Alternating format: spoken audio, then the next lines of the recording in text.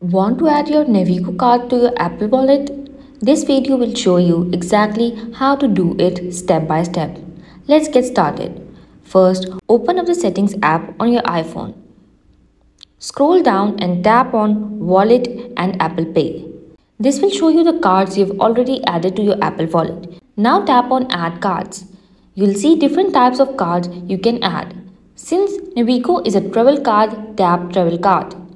On the next screen, type Navigo in the search bar. If you're in the right location, you should see the Navigo card option appear. If you don't see it, it might be because you're not in a supported region. Apple Wallet only shows certain travel cards based on your location. Once you see Navigo, tap on it. Then follow the steps to scan your card and finish adding it. And that's it.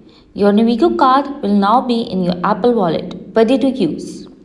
If you found this helpful, like the video, leave a comment and subscribe for more easy tutorials.